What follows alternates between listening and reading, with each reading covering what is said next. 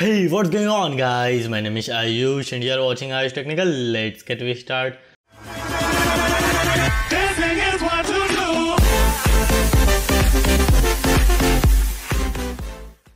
So so guys आज के इस वीडियो में मैं आपको बताने वाला हूँ कि आप जो बेंचमार्क वीडियोस देखते हो जैसे कि अलग अलग रैम्स का कंपैरिजन हो या फिर ग्राफिक्स कार्ड का कंपैरिजन हो या फिर कोई भी कंपैरिजन होगा जो आप साइड बाय साइड देखते हो इस, इस तरफ़ G T X ten G T X ten fifty T I के साथ कंपैरिजन इस, इस तरफ़ ट्वेंटी सिक्सटी के साथ कंपैरिजन वैसे ही आप कैसे बना सकते हो कैमटिशिया के अंदर। मैं जानता हूँ कि गेम रिकॉर्डिंग में कैमटिशिया इतना अच्छा नहीं है पर आप इसमें एडिट तो कर ही सकते हो गेम अपने रिकॉर्ड की हुई है। तो आप वो कैसे कर सकते हो? आज के इस वीडियो में हम उसी के बारे में बात करने वाले हैं। तो आज के इस वीडियो में मैं एज वेल कैमटिशा यूज़ करूँगा और नेक्स्ट गेम है जो एक फार क्राई और एक नीड फॉर स्पीड है। दो गेम है मेरे पास।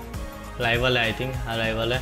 तो यहाँ पे पहली गेम को आपको लोड कर देना है टाइम लाइन पर ला लेते, ला देना है। आप यहाँ पे देख सकते हो, ये है।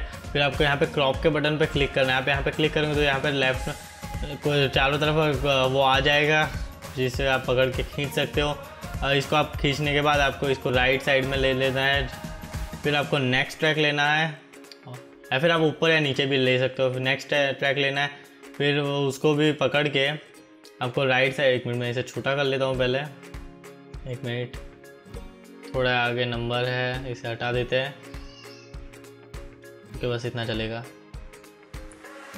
तो फिर आपको जहाँ से भी काटना है तो वहाँ से पकड़ना है और यहाँ पे सेंटर में आओगे इसलिए आपको प्लस लाइन दिख जाएगी येलो आप देख सकते हो दोनों लेफ़्ट साइड के दोनों पार्ट यहाँ पे दिख रहे हैं। अगर आप चाहें तो यहाँ पे राइट साइड के भी रख सकते हैं लेफ़्ट साइड के भी रख सकते हो। जहाँ पे आपके बेंच मार्क्स हो तो यहाँ पे ये जल्दी से बन चुका है इतना तो आप सिंपली इसे रेंडर कर दीजिएगा अगर आपको इसे 60 एफ़ में रेंडर करना है टेन एटी या सेवन ट्वेंटी पी कोई भी सिक्सटी एफ़ में तो ऊपर मैंने वीडियो की लिंक दे दी है।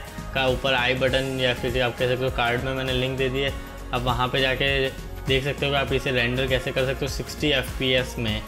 तो बस यही था आज के इस वीडियो में। तो आशा है कि आपको वीडियो पसंद आया होगा। वीडियो बहुत बहुत धन्यवाद। वीडियो को लाइक कर दिया शेयर कर दिया।